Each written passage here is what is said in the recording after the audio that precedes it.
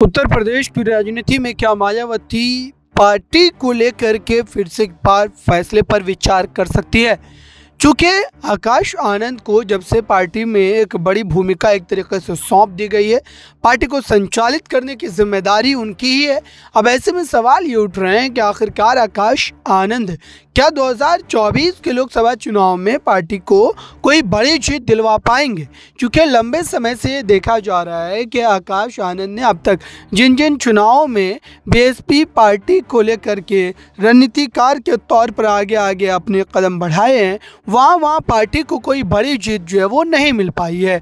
और दरअसल इसी वजह से साफ़ तौर पर इस तरीके की बातें होती नज़र आ रही है कि क्या चंद्रशेखर आज़ाद को यहाँ पर जो है पार्टी की भागीदारी सौंपनी चाहिए?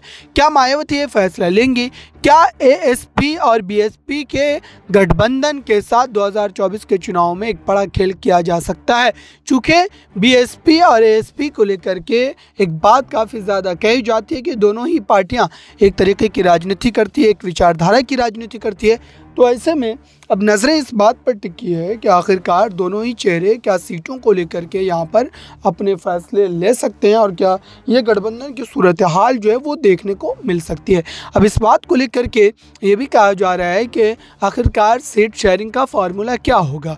बीएसपी में अगर कई ऐसे चेहरे हैं जो लगातार कई सीटों को लेकर के अपना दमखम रख रहे हैं, अगर उन सीटों पर चंद्रशेखर आज़ाद अपनी भूमिका यहाँ पर ज़ाहिर करते नज़र आते हैं तो उसके बाद मायावती उससे कैसे निपटेंगे? मायावती इसको लेकर के किस तरीके से अपनी स्थिति जो वो साफ़ करेंगे?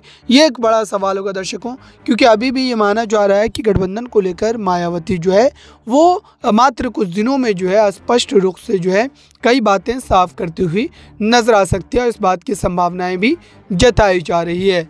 नेक्स्ट नाइन न्यूज़ रूम की रिपोर्ट